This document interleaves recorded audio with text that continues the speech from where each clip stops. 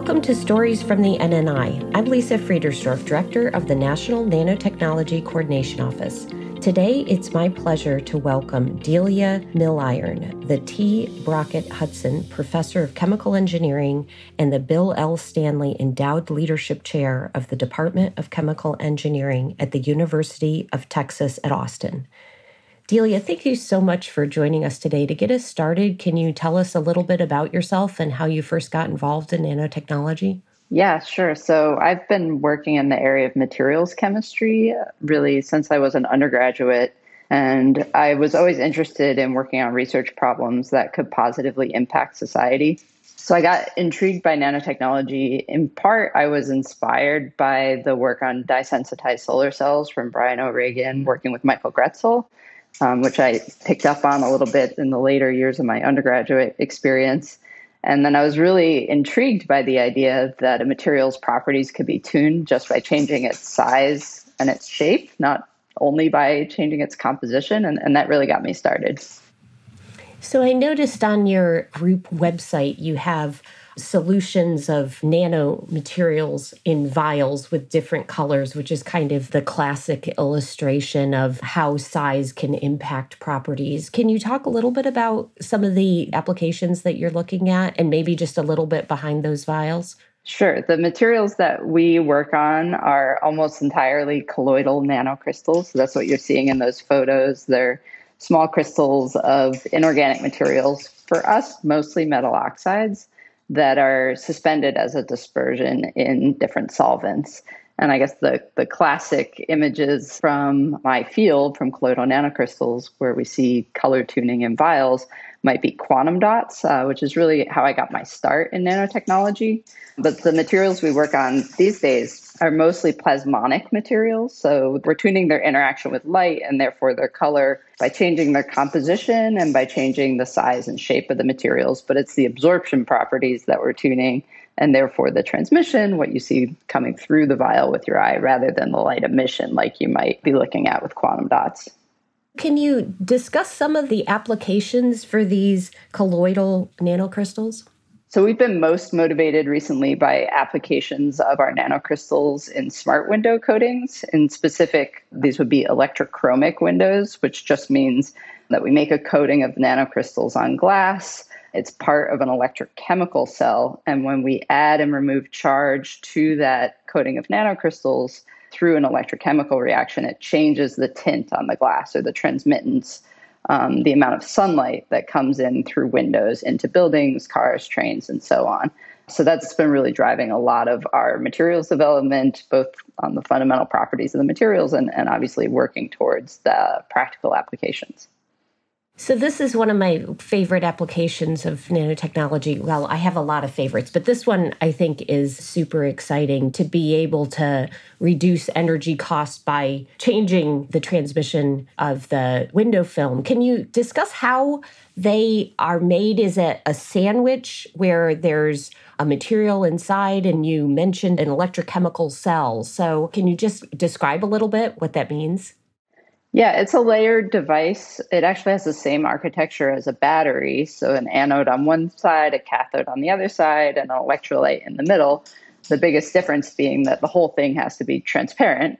And the figures of merit or the properties we're trying to optimize for have to do with the color, not just with the charge storage. So, the device works by applying a small voltage, just a few volts as you would for a battery, and moving charge between the anode and the cathode. But the difference is, again, that we're interested in the color change in those materials as we charge it up. So, when you look at applications in large scale windows, is this like a double pane window where you have this electrochemical cell between the glass? And then how do you apply that voltage to change the color? Yeah, it would be best applied in a dual pane or even a triple pane window but the device would be embedded in one of the panes of glass. then the rest of the window is constructed in the usual way with an air gap, you know, potentially filled with argon for insulation and, and so forth. Within the device, I guess the layers I did not already mention are the conducting layers. So you need a way to get charge in and out of the device. And you would do that through films of transparent conductors that support both the anode and the cathode those would be wired to metallic bus bars on the edge of the window embedded in the frame so that you don't see them. And then you could wire that into your thermostat, for example, so that you could get control over your building, both the heating, the air conditioning, and the windows all in a holistic way. That's sort of the long term vision of how this could be integrated to make buildings more efficient. So, you're in a chemical engineering department. What is the makeup of your lab? What disciplines do your students come from? Can you share a little bit of detail there? Sure. My students over the years have been material science and engineering students, chemistry students, both you know physical chemistry with a background in spectroscopy and also more inorganic synthetic chemistry for making materials and then also of course chemical engineers and currently it's about half and half chemistry and chemical engineering students, but again, a, a diversity among those. Uh, so it's, it's a real blend, and I think that's essential to the work that we do. When we look at applications of nanomaterials, and you talked a little bit about quantum dots and nanocrystals, the history of quantum dots goes back some time and we're seeing mass market applications and big displays and bright screens and that type of thing. When you look back at nanotechnology, where do you see some of the most exciting advancements from your perspective? And then looking forward, what are you most excited about with respect to the role nanotechnology can have in the future?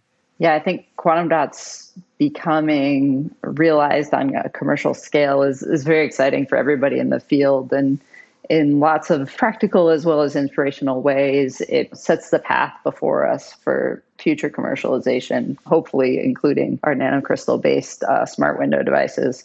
And I think if you look at the progress that was made in quantum dots in order to achieve their current success, it's been a story that's that's typical of materials as a whole, maybe over a longer time scale, more than a century, which is simplifying, purifying, making things more pure, less defective, and that's been crucial to the the beautiful optical performance that we have in today's quantum dot televisions. And if you look to the future, I think just like with materials, where, for example, with semiconductors, we had to learn to purify them before we could learn to controllably introduce the defects that enable microelectronics. Same thing with nanotechnology. I think the future is controlled reintroduction of complexity. So, putting together multiple types of nanoscale building blocks to achieve more complex functions and controlling the introduction deliberately introducing defects into crystals. So now that we know how to make them pure and as uniform and simple kind of as possible, let's make them more complex, but in ways that are deliberate and where we understand the impact of those controlled defects. So, controlled reintroduction of complexity. I love that phrase. So instead of looking at different types of generation, you're looking at reducing use and energy Absolutely. efficiencies.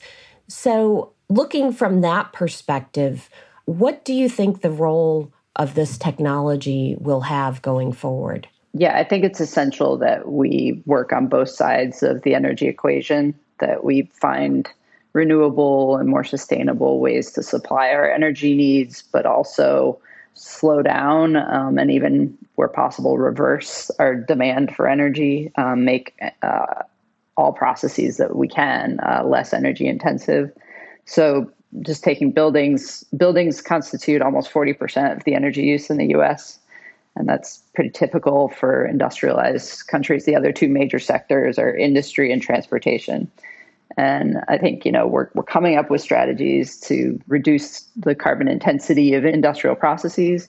Uh, we've got electric vehicles coming online for transportation. And with buildings, it's fragmented, but a large portion of that energy use goes to thermal control, so heating, ventilation, air conditioning and to lighting. And these are two sectors where sunlight in the form of, you know, heat and visible light coming in through our windows has a real potential to reduce the energy intensity of our buildings. So I think all of these things are, are going to have to come together to be successful in the energy transition.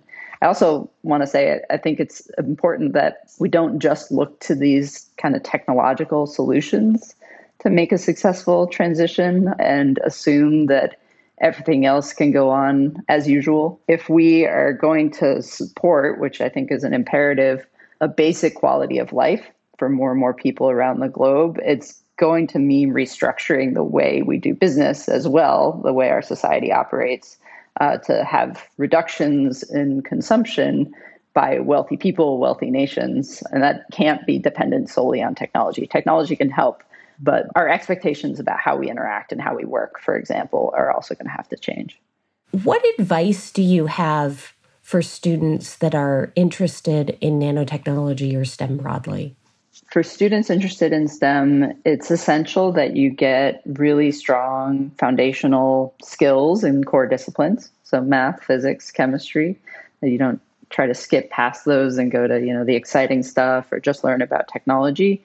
But I also think it's essential to learn about the intersection of social science with STEM disciplines and this is needed to understand the full scope of the problems that you're trying to solve and also to have your eyes open and know how to analyze who's benefiting and maybe who's negatively impacted by potential solutions so that you can have a more holistic evaluation of whatever solutions you're thinking of developing or contributing to.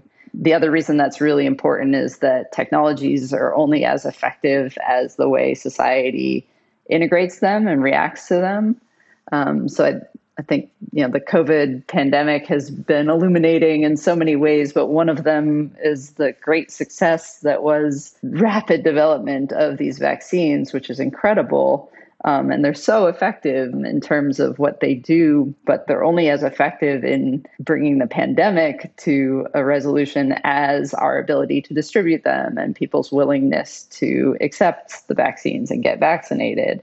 And so the way that we combine technological solutions with the societal realm, the social science realm, public health practices is really everything in terms of having the impact that we envision when we're coming up with these ideas for new technologies. Well, Delia, I've really enjoyed our conversation today. Do you have any closing thoughts that you'd like to share with our listeners? You know, if you're interested in having an impact on society through technology, as I am, that you also pay attention along the way to the impact you're having on the people around you because you're sure to have that impact um, regardless of what may happen with your ambitions uh, in science and technology we know we can impact the people that we work with and i encourage everyone to pay attention to that aspect of life as you go